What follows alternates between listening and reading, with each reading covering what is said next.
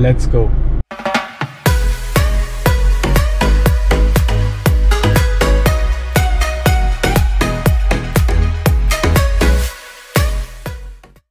hey everyone it's Kushagra the foodie driver and अभी time हो रहा है एग्जैक्टली फाइव ओ क्लॉक और कार uh, की तो बहुत वीडियोस अब डाल दी तो मैंने आज सोचा कि एक रन पे जाया जाए सुबह एंड क्योंकि कोरोना फैला हुआ है एंड मैं अवॉइड करता हूँ कि कम से कम लोगों से कांटेक्ट में आऊँ तो इसीलिए मैं सुबह सुबह जा रहा हूँ इंडिया गेट रनिंग पे ताकि कम लोग मिलें कम भीड़ भाड़ हो और एक्सरसाइज भी हो जाए दिन की।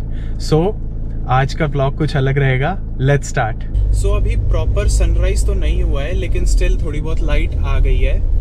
और उम्मीद तो यही है कि कोई भीड़ भाड़ ना मिले एंड एक अच्छी शुरुआत हो मॉर्निंग की, अच्छे रन के साथ. बाकी देखते हैं.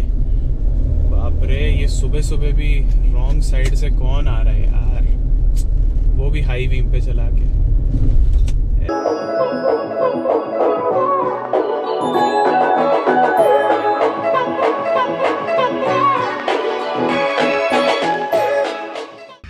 तो मैं पहुँच गया हूँ इंडिया गेट एंड uh, मेरे लिए ये फेवरेट जगह है दिल्ली में पूरे। कभी भी मुझे रिलैक्स करना हो कुछ भी करना हो रन करनी हो मैं यहाँ आ जाता हूँ। एंड uh, खाली अभी जगह लेकिन लक देखो मेरे स्कूल का friend Anurag is here same time पे सेम शर्ट सेम जगह पे बंदा रनिंग करने आया है सुबह सुबह। यहाँ पे दौड़ने का अलग ही मज़ा हमारा रनिंग ट्रेनर यही रहता है इसी ने मुझे रनिंग करना सिखाया था चार साल पहले। And proper running long distance running and आज मज़ा आएगा अनुराग साथ में करेंगे। क्या प्लान है? आ, सबसे पहले राष्ट्रपति भवन तक जाएँगे।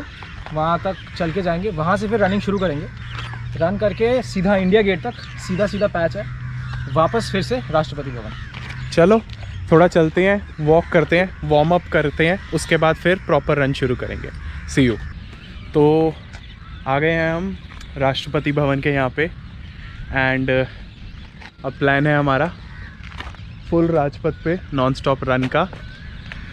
वार्म अप हो गया है so let's begin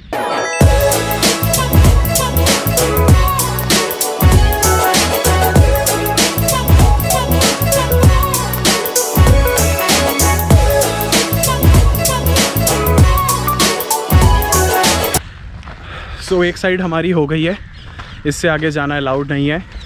कैसा रहा अनुराग? मज़ा। मज़ा आ गया? आ, तो 250 मीटर वॉक करेंगे उसके बाद फिर एंड तक दोबारा से रनिंग होगी। चलो देखते हैं रास्ते में क्या हालत होती है।